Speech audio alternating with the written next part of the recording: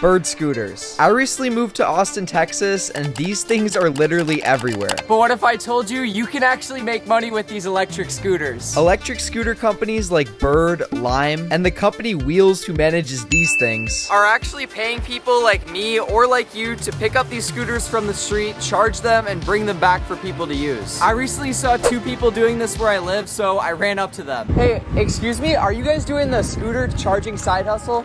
I actually uh, do YouTube videos about like different side hustles and stuff. That encounter got me the opportunity to shadow these people. So today I'm here with Lucas. I ran into one of your friends a few days ago. So today I'm gonna learn all about the Lime scooter business. Like I kind of want to know like how did you get started with this? You started like 10 months ago you mentioned? Yeah, somewhere around there, 18 months ago, uh, I was just driving by some guy with a bunch of scooters, asked him how to get involved and kind of showed him groups. And yeah, and you've also like got some of your friends to help you out with it now, right? Yeah, definitely. So I have a few people that work for me. I got my brother-in-law, I have two other employees, and I have one person that rides with me all day. And how does that work when you have employees with this business? Like, how do you like organize everything? Uh, so what it is is everybody just gives me a call whenever they're ready to charge, and I make sure there's an open spot for them here at the shop. Lucas hires people like his brother-in-law to pick up and drop off scooters, and in return for charging them at his warehouse, he charges a 25% fee. Now you might be wondering, why not just go out, buy the scooter chargers yourself, and keep all the profit charging at home? Well, you can do that, but getting enough chargers is 150 to $200 investment. And on top of that, in certain areas such as my own, in order to sign up to be a lime juicer, you need to be under a logistics partner such as Lucas. I'm gonna rent a U-Haul truck and collect as many lime scooters as I possibly can, but to do that, I need a logistics partner such as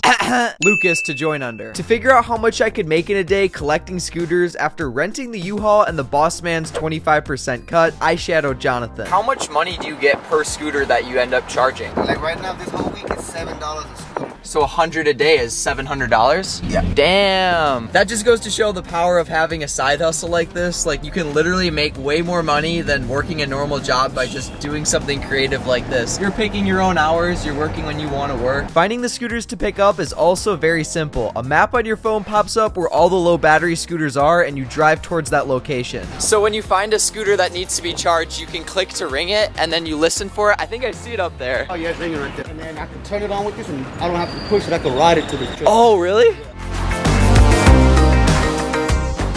We spent the morning picking up scooter after scooter after scooter. And not only did I get to see Jonathan run up a bag, but he also taught me a lot. Are there any scooters coming up? There's one, but they, they look like they're inside these walkways. Oh, okay. This is where we're at, and that scooter's like inside of a Gotcha. in a parking garage or something. So someone reserved a scooter before you could get to it. Is that like a issue in the business? Is there like competition and stuff? That's the big competition right there. So yeah, now I get why you guys like to get started early. That's that's where the money's at. And if we started like 12 or something, everything's already picked up. Avoiding scooters in parking garages, being aware of competition, and the early bird gets the worm. These tips are going to be crucial to my success doing this side hustle. The goal is to make $200 in one day. And this should be more than achievable because Jonathan picked up 19 scooters in 90 minutes and dropped them off at the warehouse to charge. So we just finished about an hour and a half session of picking up scooters. As you guys can see, the back of this truck is pretty much full. And how much money did we end up making? $135.25. Dang, $135. Now we're gonna load all of these scooters into the warehouse over there and plug them in. So you guys rent a warehouse space where you charge all of the scooters. And how much does this run you every month, if you don't mind me asking for this space? Uh, about 11.50 right around there. Okay, and how much money do you spend a month on electricity for like plugging all of these scooters in? It varies to maybe a couple hundred bucks, maybe 200 bucks, 300 bucks, just depending because So, so about $200 a month?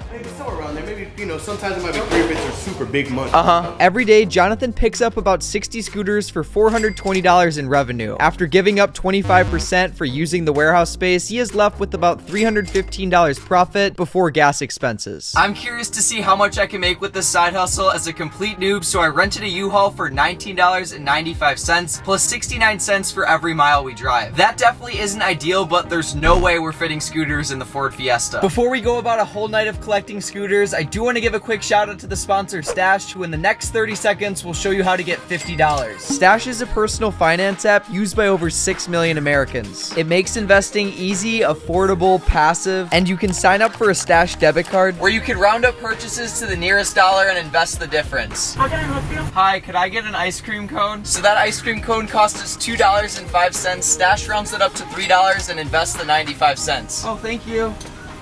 Thank you. Make sure you guys sign up for Stash at the top link down below or click the pinned comment because right now they're doing a special offer. If you guys deposit as little as $1 into your Stash account, they give you a $50 bonus, so be sure to redeem that offer. On that note, it is currently 7.10 p.m. I'm with my friend Finance Unfolded, and we're about to go out and see how many scooters we can collect. We're gonna try this side hustle at night as opposed to doing it in the morning like we did with Jonathan to see if that's better. I've got the scooter app open on my phone right now, and we're heading towards the first scooter to pick up. This is where the money started rolling in. No way, dude. That's so easy. Just like that, $6. Scooter number one of the day. Hopefully we can get like 30 or 40. The first hour of picking up scooters went great. One scooter after the other was getting scanned and put in the back of the U-Haul until I had a dumb idea. I parked my U-Haul in this parking lot downtown and I have a bunch of scooters around me that I can go ahead and pick up. So instead of driving by the scooters, I'm just gonna simply ride the scooters back to the U-Haul. I think that's gonna make things a lot safer because the roads are super narrow downtown and this thing's pretty big. I began my new strategy of collecting two or three scooters at once before driving them all back to the U-Haul, but I got lost. So guys, things went a little bit south with this idea. I got three scooters, Mark got two, but I kind of forgot where the U-Haul was parked. Luckily, Mark was able to text me the address, and as you guys can see, I'm 0.4 miles away, so it's gonna be a pain to ride the scooters that far. I thought I'd be able to ride the scooters all at once like this, but it just wasn't working out. Three scooters at once like this is definitely over my limit. I can definitely not drive these, and pushing them is extremely hard. 20 minutes later, I finally made it back. Mark also happened to forget where we parked, so I'm going to pick him up at a random Citgo right now, and we're also gonna load his two scooters in the back. What's up, dude? So, you texted me, you almost got robbed. How did this happen? Okay, so me and Will split up, and a guy on the side of the road starts talking to me, and he's like, uh, he's getting mad at me, he's screaming some things at me. Why? No clue.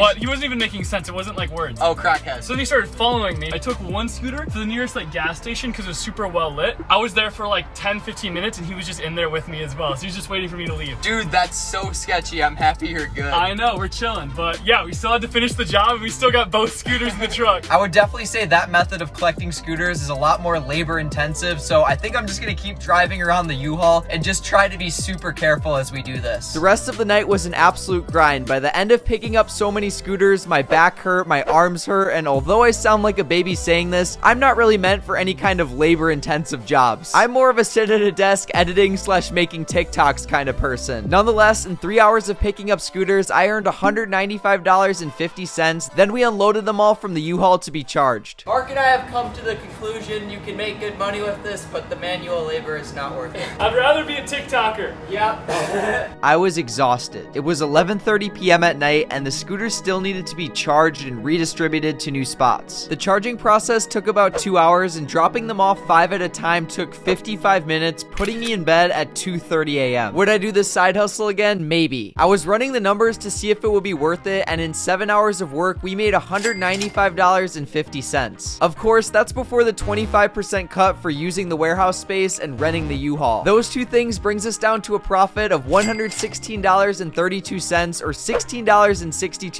an hour. That got me thinking though, how much does the boss man make? So you can profit anywhere between like four to seven hundred dollars a day, just depending on how you go about it. Mm-hmm. Hell yeah, you showed me like some months just by yourself before you hired anyone, you were doing like $13,000.